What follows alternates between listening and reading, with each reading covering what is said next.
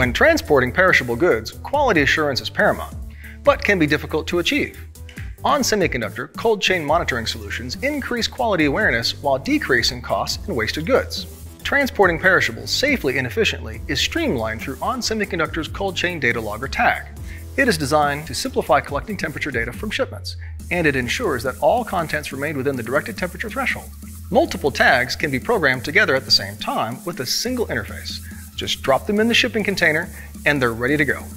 This is a major advantage and time saver over other systems that require each tag to be programmed individually. The operator sets the upper and lower temperature thresholds on the selected tags. This range is what is considered acceptable during shipment. The wake frequency is also set. That is, how often the tag should wake up and take a temperature measurement.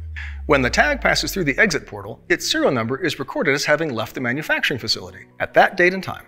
The tag clock is then synchronized, the tag memory is cleared, and the upper and lower thresholds are set the frequency of measurement is set, and the tag is activated, all without having to ever touch the tag.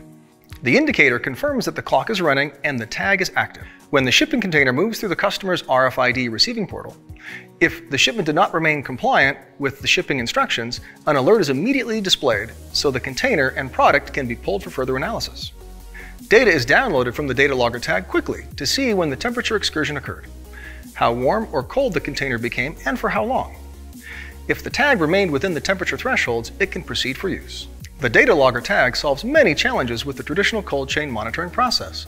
Multiple tags can be programmed at once, and any products that did not stay within the directed temperature threshold are indicated quickly.